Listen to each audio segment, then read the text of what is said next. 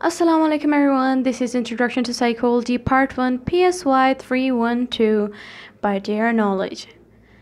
Today we will be studying surveys. Last time we discussed observations. It's uh, two types, naturalistic observation and laboratory observation. And then we discussed case studies both in English and Urdu. Today we will be discussing surveys.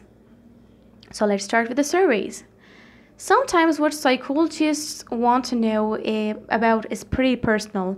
The only way to find out about a very private behavior is to ask questions. So, in survey methods, researchers will ask a series of questions about the topic they are studying. Survey can be conducted in person, in the form of interviews, or on the telephone, the internet, or with a questionnaire. The questions in interviews or on the telephone can vary, but usually the questions in a survey are, are all the same for everyone answering the survey.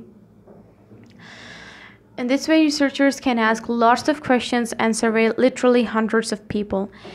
That is the big advantage of survey aside from their ability to get a private information, researchers can get a tremendous amount of data on a very large group. Of course, there are disadvantages.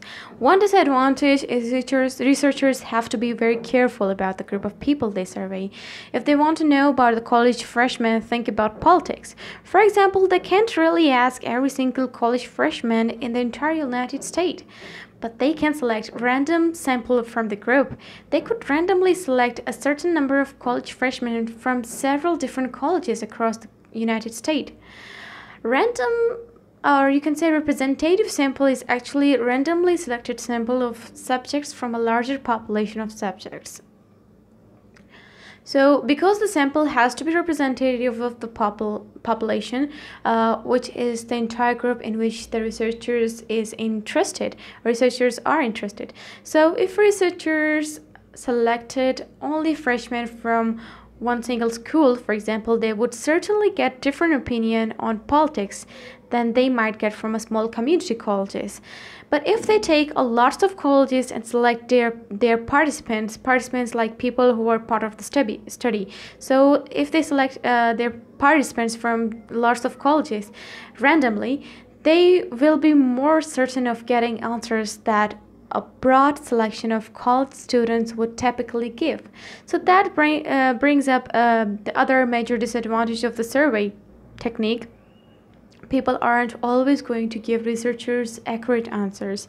The fact is, people tend to misremember things, distort the truth, and may lie outright, even if the survey is an anonymous question.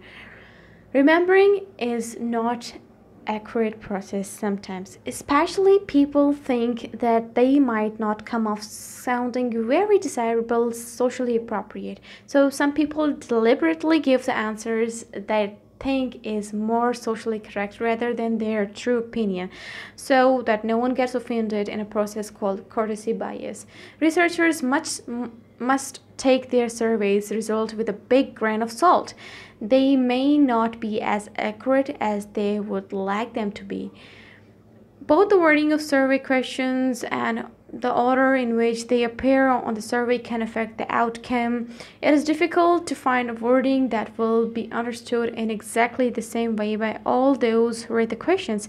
For example, questions can be worded in such a way that the desired answers becomes obvious, often resulting in courtesy bias type answers. So a question that appears at the end of the survey might be answered quite differently than if it had appeared at the beginning. So this was the end of the video. If you got your point, if your concept is clear, you like the video, don't forget to like it. Don't forget to subscribe our channel to get notification of the upcoming videos.